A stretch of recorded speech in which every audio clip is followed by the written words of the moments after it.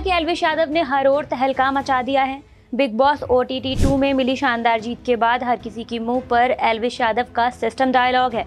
वहीं अब एलविश यादव की राजनीति में एंट्री को लेकर चर्चाएँ तेज हो गई हैं। इन चर्चाओं की शुरुआत उनके सीएम मनोहर लाल खट्टर से मिलने के बाद शुरू हुई है। एलविश यादव ने भी इस पर बात की है।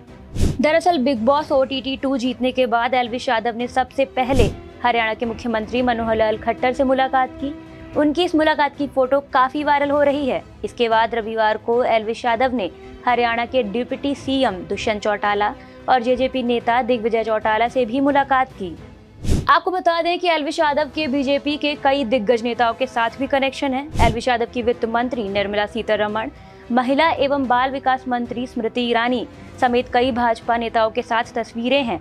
एलविश यादव ने कई बार बीजेपी की राजनीति की सराहना भी की है। एलविश यादव ने अपनी जीत की खुशी में रविवार को हरियाणा के गुरुग्राम में मीटअप रखा। इस मीटअप में तीन लाख से ज़्यादा लोग पहुँचे। मीटअप में जहाँ हरियाणवी कलाकारों का तांता लगा रहा, वहीं राज्य के मुख्यमंत्री मनोहर लाल खट्टर भी एलविश का सम्मान करने पहुँचे। राजनीति में एंट्री और चुनाव लड़ने से संबंधित सवाल के जवाब में एलविश ने कहा, अभी वो इस बारे में कुछ सोच नहीं रहे हैं। उन्होंने कहा कि, मैंने अभी तक कुछ फाइनल नहीं किया है। उन्होंने कहा, ये सब टाइम बताएगा।